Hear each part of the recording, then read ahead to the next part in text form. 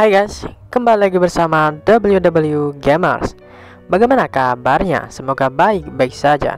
Pada kesempatan kali ini saya akan tes game Naruto Storm 4 ya Di EGGNS versi terbaru. Oke, langsung saja kita di sini masuk ke dalam gamenya. Nah, kita lihat bagaimana. Untuk settingannya nanti menyusul ya guys ya di akhir video untuk pertama ini kita langsung tes saja dulu ya guys ya untuk EGN, EGGNS nya nah untuk storynya di sini saya pakai save data dari EGGNS nya langsung. Jadi sudah tamat semua storynya di sini guys. Nah sudah tamat semua di sini nah guys. Uh, di sini racun untuk game select. Eh uh, ya. yeah di sini langsung kita ke battlenya atau gameplaynya di sini. Oke. Nah langsung ke primode di bawah ya. Nah ini primode. Jadi tuh untuk updatean kali ini uh, ditambahkan speed mode di EGGNS nya ya.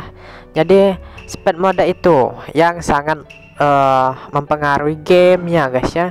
Jadi jika ada game-game yang lelet atau lag jika diaktifkan speed mode maka ia akan lumayan cepat ya. Nah di sini untuk kualitas uh, eh, FPS-nya akan menurun ya ketika kita merekam uh, 3 sampai 5 FPS ya. Jadi maklum ya di sini saya akan pilih yang uh, karakter yang agak nah agak teksturnya itu enggak terlalu berat.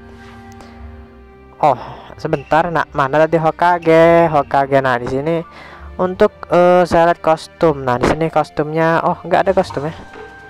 Gimana? Uh, oh ya saya lupa. Nah ada beberapa kostum dari Hokage nya dan saya akan pilih yang Hokage saja. Nah ini yang di Edo Tensei ya. Jadi saya pilih yang ini. Untuk musuhnya di sini kita uh, siapa ya untuk oh ya sesuai dengan storynya manusia bertopeng ini Masked Man. Nah Oke, nah. Untuk lapangannya juga di sini tergantung lapangannya FPS-nya itu. Jika lapangan tertutup, maka FPS-nya itu akan semakin bagus ya. Ma uh, tapi sebaliknya jika lapangan terbuka seperti ini nah, FPS-nya mungkin agak sedikit drop. Jadi kita akan mulai dengan lapangan yang agak tertutup dulu. Oh, di sini lapangan apa yang yang tertutup dan terang? Sebentar nanti uh, saya akan mencari-cari terlebih dahulu lapangan yang tertutup ya pokoknya yang agak terang di sini oh di sini ya. Nah alternate dimension ya. Sini agak terang untuk lapangannya sendiri. Oke. Di sini kita sebagai Minato navigasi oke? Nah FPS nya sudah terlihat ya. Jadi sangat-sangat beda sekali ya. Oh sebentar. Wow. Saya akan fokus terlebih dahulu. Jadi agak-agak bukan agak-agak tapi memang beda ya. Karena pengaruh dari Nah, kan drop itu karena saya sambil merekam ini. Mungkin selanjutnya saya akan rekamnya pakai HP lain saja biar bisa kelihatan performanya ya. Oh. oh. Aduh, saya nggak diizinin bicara ini sama Masketman ini. Nah, untuk FPS-nya di sini 20 FPS ya, 20-an tapi jika kita nggak sambil merecord FPS-nya itu 30-an ya guys ya. Tetap ma bahkan 35 FPS-an nah di sini 20 25 FPS-nya sangat mantap. Jadi untuk lapangan tertutup seperti ini FPS-nya itu akan 30 FPS-an ke atas ya guys ya. Karena saya telah baru saja mencobanya tanpa merekam tapi dengan catatan itu. Dan untuk lapangan yang terbuka FPS-nya itu akan sedikit drop 2 sampai 3 FPS-an atau bahkan lebih 5 ya. Walaupun nggak sambil merekam ya. Apalagi dengan sambil merekam lapangan terbuka. Wow itu sangat-sangat menguras FPS sekali. Nah kita kalahkan terlebih dahulu untuk man ini. Oh ya tadi saya pilih berapa ronde ya? Saya lupa. Bentar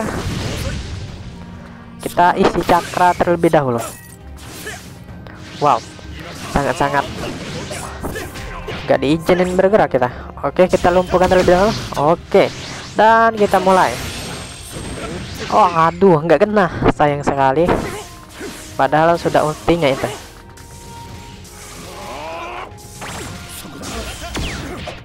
Waduh. Oke. Kita kehabisan uh, apa namanya? Clone jutsu atau apa itu? Wow. Apakah kita akan kalah di sini, guys? Aduh. Nah. Oh, sudah awak keningnya sudah terbuka. Jadi kita tinggal awak kening saja. Oke. Okay. Oke, okay, awak kening awak. Oke. Okay. Aduh, diganggu lagi. Bagaimana mau awak awak kening? Nah.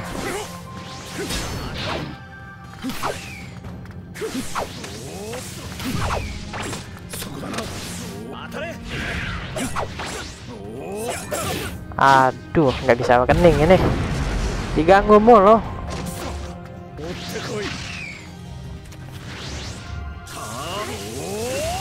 Oke, akhirnya bisa guys ya. Nah, bagaimana? Oh, seperti ini awak kening ya. Oh, wow. Oke, awak kening dari Minato ya guys ya. Miraisin non jutsu, jadi awak kening ya.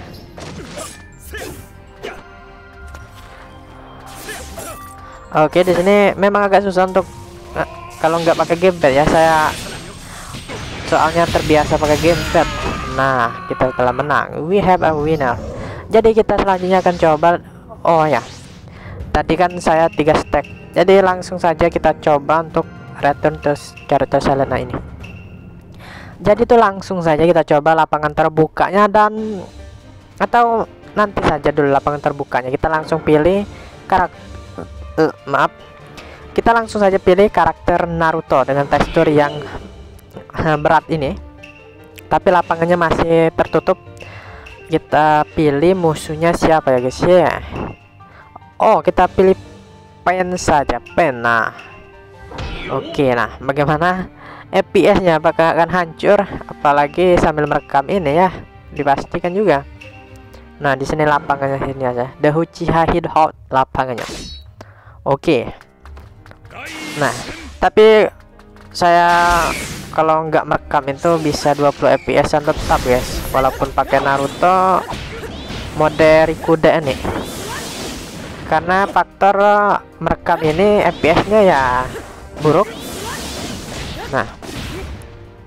Oke kita di sini mendapatkan 15 fps an oke. Tapi saya jamin kok guys untuk uh, jika nggak sambil merekam maka fps nya akan 20-an fps jika di tempat tertutup seperti ini ya. Nah oke. Nah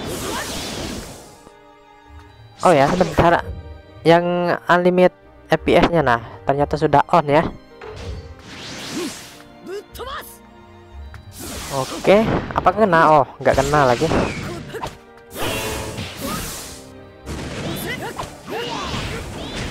Oke, di sini kita mendapatkan 15 FPS. Nah, 17 FPS kan.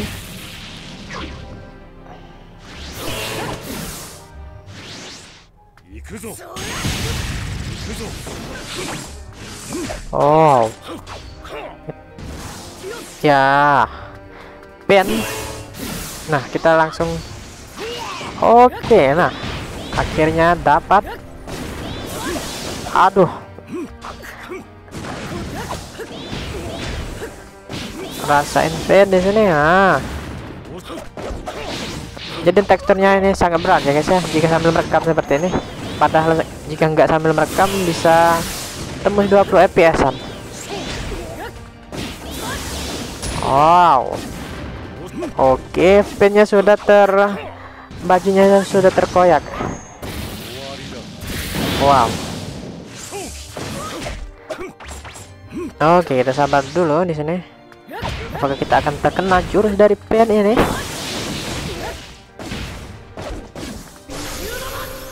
oke bijudama apakah kita akan menang? Nah. Oke, karena untuk membersihkan waktu kita langsung saja ke tempat terbuka ya. Kita pilih tempat terbukanya di sini. untuk ter tempat terbukanya kita pilih yang ini saja Naruto Uzumaki Link atau oh sebentar ya. Kita pilih yang Hokage saja ya guys ya. Karena di sini kan Storm 4 tentunya Hokage nah kita pilih Naruto Hokage sesuai dengan judul Storm 4 jadi kalau nggak pilih Hokage Naruto ya gimana nggak abdol nggak enak ya untuk musuhnya di sini kita pilih Sasuke Uchiha. Oh, bukan yang ini, tapi biar Nah, kita langsung tempat terbuka. Tempat terbukanya eh yang mana ya? Ini saja. Di Chunin Camp.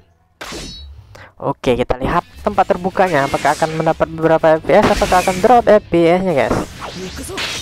Oke. Wow. Serangan pembuka oleh Naruto. Nah, di sini di sini 8 FPS ya. Faktor merekam juga ya guys ya. Jadi jika merekam itu 3 sampai 5 FPS akan berkurang. Kalau nggak sambil record ya besar FPS ya. Oke, di sini 20-an FPS. Wow. kita isi cah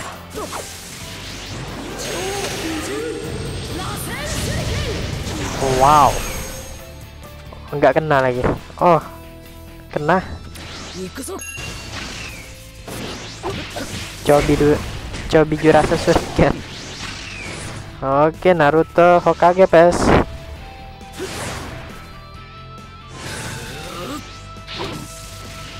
oh kita nggak ada cakra ya. Oh, jangan sampai kena.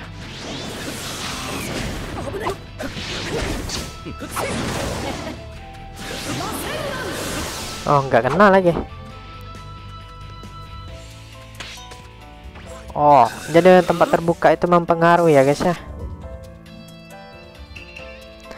Oke, itulah untuk uh, reviewan uh, EGGNS versi terbarunya jadi sudah lebih lancar sekali dari versi sebelumnya untuk untuk setelannya kita lihat ya untuk settingannya nah di sini kamu jika ingin mengikuti settingan saya seperti inilah seperti ini.